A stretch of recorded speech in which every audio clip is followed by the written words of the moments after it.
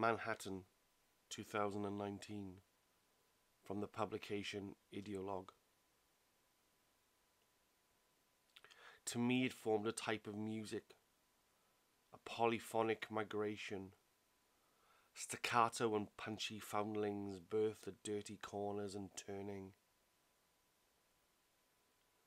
It was filed and unorderly, flowering from wet and muggy streets, an aggressive lament that shaped a kind of whale song, a scented sound that rides on warming winds, street music choking air on glowing staves that catch it, reflect it as echo, ascend it right to you, city veins clearing their throats in stunning entwined chaos.